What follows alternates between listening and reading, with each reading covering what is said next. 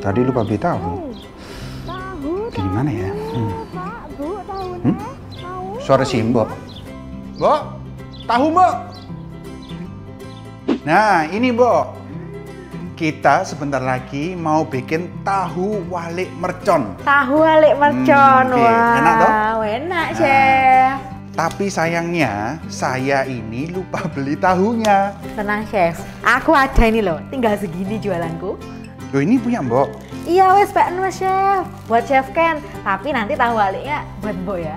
Tapi ajarin aku juga. Beres Mbok, mungkin ya, eh, ini kan karena Mbok kan jualnya tahu aja. Siapa tahu nanti tahu walik mercon ini bisa menjadi salah satu komoditas, jadi bisa Mbok jual juga. Besok kalau bikin eh, tahu lagi, bisa bikin tahu walik juga, gitu loh. Iya, iya, iya. Ya? iya, iya. Nah, jadi langsung aja ya, Iya. kita bikin tahu walik mercon.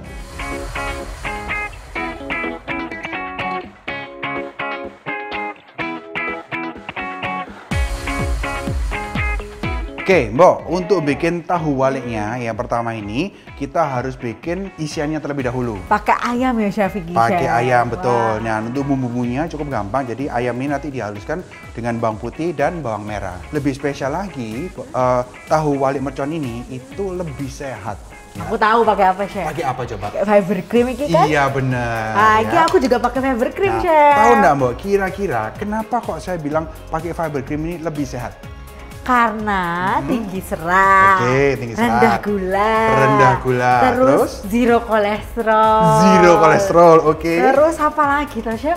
Eh, bebas laktosa atau lactose free. Ada satu lagi, gluten free. Oh gluten Ya, free. iya, apa itu, Mbok? Kero.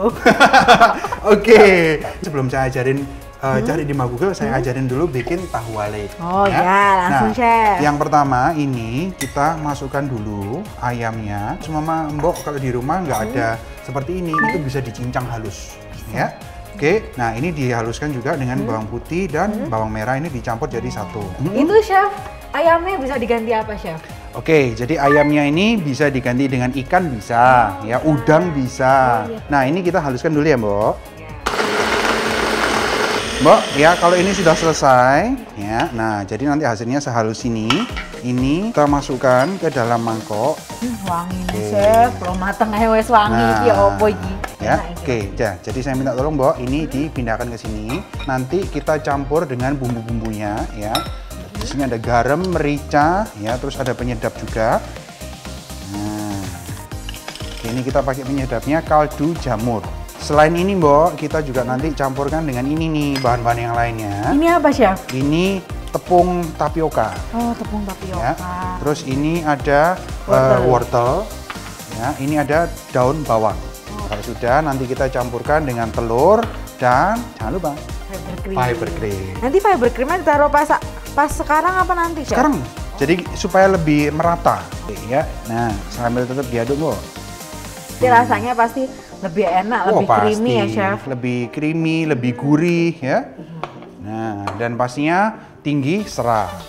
Ini saya masukkan wortelnya juga. Uh, cantik ya chef. Nah, daun bawang. Terakhir saya masukkan tepungnya di sini.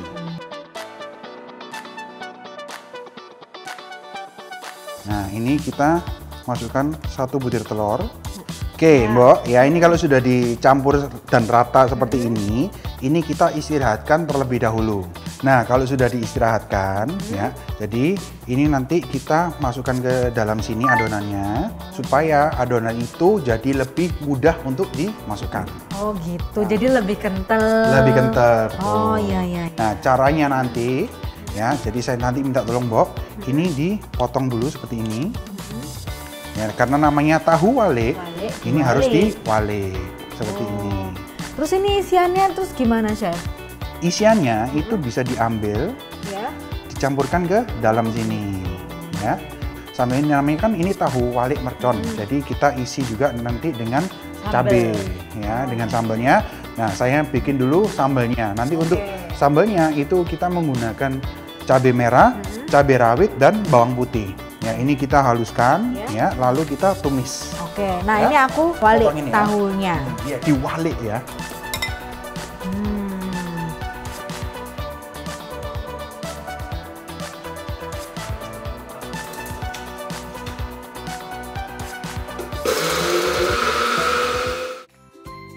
Hmm. Opor kalau pakai fiber cream itu jauh lebih creamy. Dan cendol Hmm. Lebih gurih. Kalau pakai fiber cream itu segala sesuatu tetap lebih enak tapi jauh lebih sehat. Nah, ini kita masukin aja. Gak usah terlalu banyak ya, Mbok, karena bukan digoreng, ini hanya ditumis Kenapa saja. harus ditumis dulu, Chef? Supaya aromanya itu nggak langu, jadi eh, nggak ada aroma mentah pada saat kita makan ini nanti. Jadi rasanya itu lebih enak lagi. Ya, kalau orang kerennya itu bahasanya lebih blend in. Blend in, Blend aduh in. muncrat sampai. Oke, ya. itu sambelnya mau dicampur sama adonan atau gimana, Chef? Di jadi gini, ini kita ambil dulu seperti ini. Ya, terus ditaruh di dalam. Oh gitu ya wes. Baru ditutup lagi. Ya udah, aku Ya? tak ngisi-ngisi dulu Oke. nanti tinggal diisi sambelnya. Wes cepet chef. Gak sabar aku mau coba iki loh. Nah, Mbok, ini kita juga masukkan bumbu-bumbunya. Ada garam, ya kita pakai penyedap jamur dan gula. Chef, Mm-mm. aku tuh ya pengen banget ikut lomba kayak chef kan di Master Chef itu loh. Hmm, pingin toh, Mbok? Iya pengen ikut lomba-lomba masak-masak tapi mbok bingung ya apa cara lombanya. Nah, ini Mbok, caranya gampang ya, karena di Fiber Cream itu ada Fiber Cream Recook Competition Season 3. Masak tahu dapat hadiah? Ayo ikuti Fiber Cream Recook Competition ketiga. Unggah hasil recook resep dari Fiber Cream dan menangkan total hadiah 3 juta rupiah. Ayo masak tahu sekarang. Oke, ya. Nah, ini kalau sudah, Mbok, saya tuang di sini. Nanti yang barusan Mbok isi ini itu dikasih ini Oh ini langsung tak kasih nih ya. Ya, kasih sambelnya. Oh. Oke. Nah, ya. Pedes nih chef. Nah, terus Terus ditutup? ditutup lagi.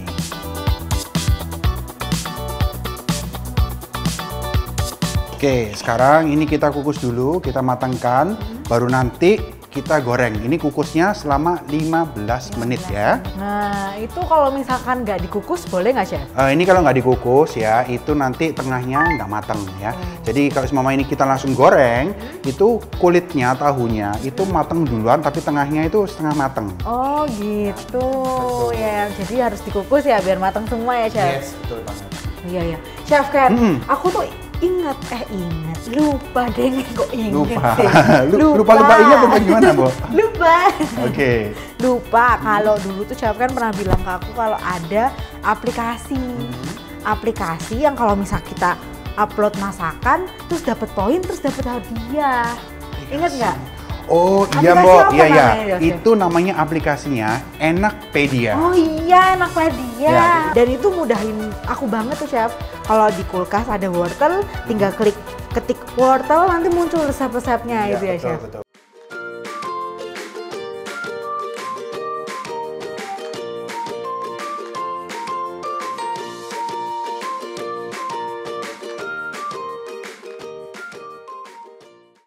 Oke, kita lihat, Mbok. Oh mantap, kebul-kebul. Kebul-kebul kan? Enak erek. Mm-mm. Hmm, aromanya juga enak ini, Mbok.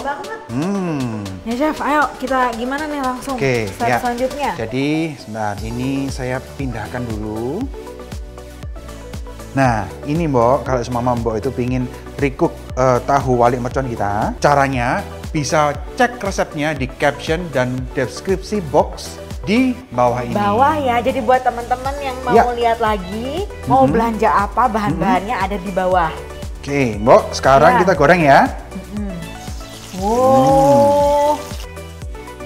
Nah ini kalau misalkan dijual chef, pasti luaku ini. Bener, ini kalau semua kita mau jual, Tapi berapa chef kalau buat jual ini chef?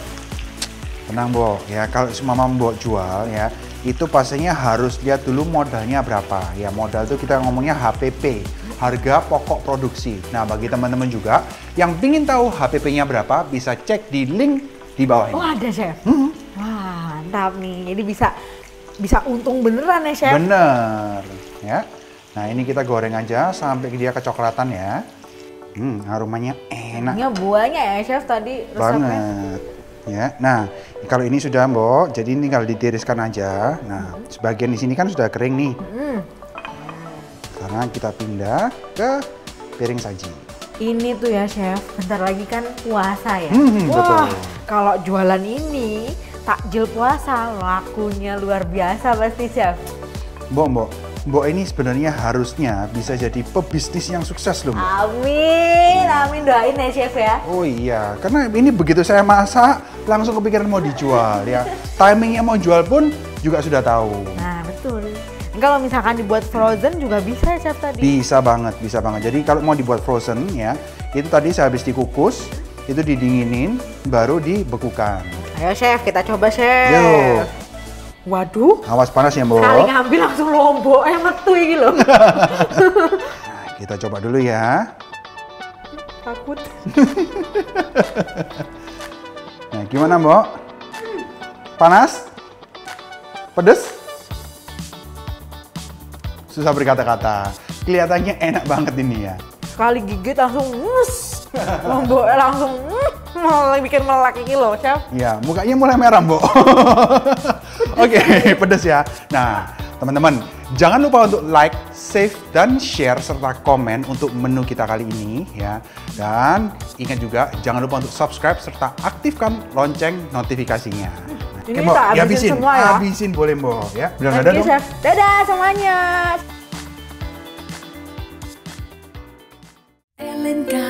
Enak bisa sehat